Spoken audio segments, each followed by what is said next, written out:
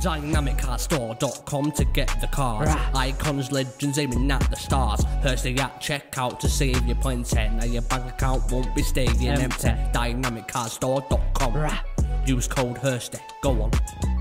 Hey there guys, welcome back to Hursty Games and welcome to another Which is Better video. Today we are looking at the new Curtis Jones that has come out. You've got the options, as you can see on screen, as a left mid version or a centre mid version of this card. This video is going to be all about my opinions on A, the cards themselves, B, the SBC and whether I think the price is worth it. C, we'll compare them in-game and give you my thoughts obviously as to which is better, but also show you some comparisons to other players on the market of, uh, you know, whatever price range, but show you cards that are similar and maybe that I think that they will perform perform similarly too. Now, the first thing I want to do is say I will be completing this SBC. Firstly, I think this is a really cool concept. Gutted he wasn't actually in packs because obviously he is a base bronze card, so it would have been pretty cool to see if anyone had got him from bronze packs and stuff. Obviously, we do a lot of BPM. I've packed regular Curtis Jones about five or six times this year, so it would have been interesting to see. But uh, yeah, this card I think is really cool. I think both versions, both variants of the cards have their benefits, have their perks. We'll get more into that afterwards.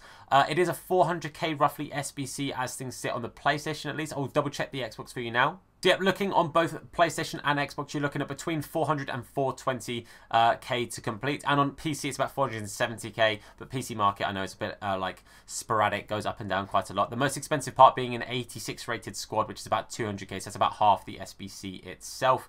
Uh, but realistically, I think this card looks really good. I know a lot of Liverpool fans, I'm sure will do it anyway, but I think this is a very, very good looking card. Gives me similar kind of vibes to the uh, the Trent we got last year, the Shapeshifter Trent, but I think this will be a better version version, that centre mid. And the left mid, again, I just think it looks like a very, very good, very usable and very fun card. Now, uh, comparing them both, obviously, the left mid version has more pace, has more shooting, has more dribbling, and then the centre mid version has more passing, more defence, and more physicality. So three stats higher on each of the cards, uh, but both obviously quite well rounded for the cards they've got. Let's have a little in-game comparison and see what they look like.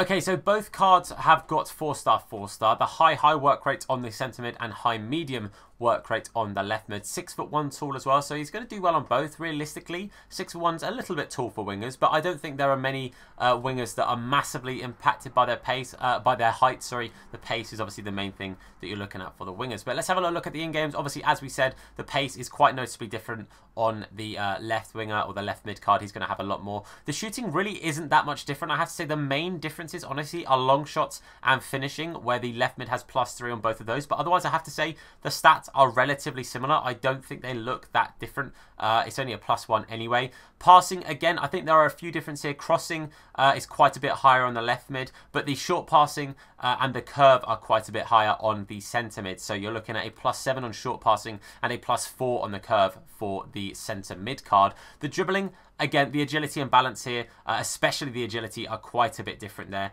Honestly, the rest of them fairly similar. The dribbling's a little bit different, actually. Well, I think it's a plus seven for the left mid. Uh, but the agility and balance are quite a bit higher in the left mid, which, again, you would expect. And then defensive, I mean, we know the mid's going to have way more. They're a massive boost, which is why the in-games on the mid are quite as boosted as they are, because the defensive stat, you're looking like a plus 15. So it's a real big difference, and obviously, it's going to be very noticeable.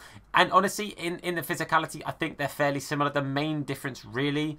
So uh, you're looking at plus three for the stamina. So honestly, I think these cards, if you're to compare them both, I think both look very viable. Obviously, they're both boosted in the attributes they need to be. The main differences for each, honestly, is pace, obviously, for the left mid, and then the defensive stuff for the uh, centre mid. But both cards are pretty good, and I think, honestly, both are very, very viable cards for their retrospective positions.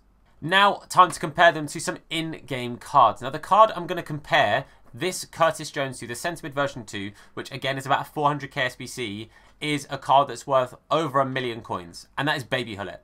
Because if you look at this, Baby Gullit has got worse stats on everything apart from defence. And it's only a plus two in the defence, and they don't look that different to the to the Jones card. This card is better than Baby Gullit, in my opinion. I think this card is considerably better than that Baby Gullit. And honestly, I compared it to the 90 as well, the middle Gullit, and uh, it's not too different. And that middle Gullit is extortionately priced. He is a fair few million coins. So obviously, that I think the 90 Gullit is going to be better than Jones. But I think this 88 Jones card is going to be better than Gullit. Now, I know some people say that this 86 Gullit isn't all that this year it's still Gullit. It's still a good card. I've used this card, and he is a good little card. It was a very good draft, and I thoroughly enjoyed using him. But I think this Jones card looks better than him. Face value, he looks incredible. He's got more in-game stats than him, and he just looks like he's absolutely going to do the business. I, I think this Jones is a perfect box-to-box. -box. You can put a Hunter on him if you want him to be attacking. You can put a Shadow on him if you want to be more defensive, or you can put whatever you want on him if you're willing to go for that box-to-box -box card. I seriously think this card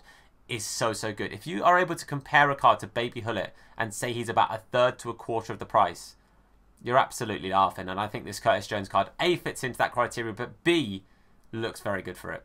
Okay, now time to compare the left mid card. Now, there are two cards that I'd compare him to. One is a card that is cheaper. Uh, he's about 150k-ish, I think, on average, and that is Sadio Mane, and he's considerably better than Mane card, in my opinion. Uh, I just think his card looks better, all in all. The other card I'm going to compare him to is double the price. It's a card that's about 800k right now on the market, and that is Neymar. Now, the main difference is Neymar obviously is 5-star, 5-star. That's one thing to take into account. This is just the in-game comparison here, because the 5-star, 5-star obviously is better than a 4-star, 4-star on Jones.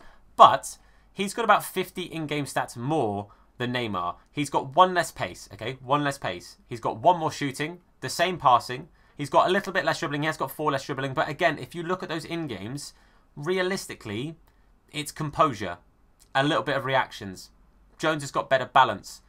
It's very similar. I don't think they're that different if you want my honest opinion. I really do think the dribbling stats are so close that it doesn't make that much of a difference. And the 90 balance, I think, does work in Curtis Jones' favour. And then obviously he's got like like 30 more defence and he's got like 20 more physicality.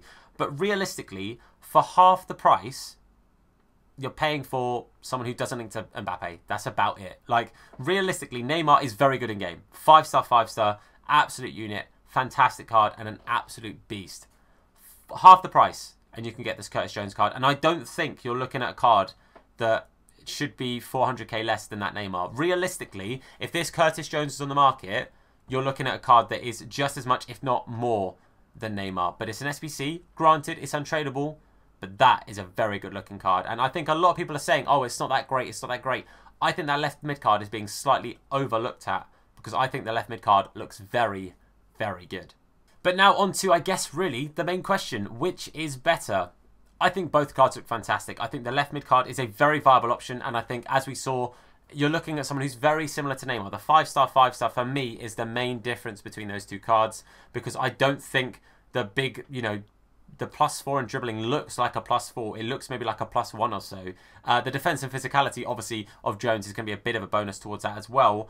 Um, but for me, I'm taking the centre mid. I think the centre mid looks incredible. I like I said, that left mid card looks fantastic. I think it looks amazing, and I think if you choose the left mid card, fair play to you. I think you've still got yourself an incredible card. However, that centre mid card for me for 400k is an absolute steal. Again, just like we said previously about that Jones being like you know 800k card or you know a mil card for me, that Jones is Gullit Gang. For me, that Jones is better than Baby Gullit. And if that Baby Gullit is 1.2 million coins, this card is, I don't know what this card would be worth. He, honestly, for me, the, the Camavinga that everyone's been hyping up at 2 mil coins, that's better than Camavinga.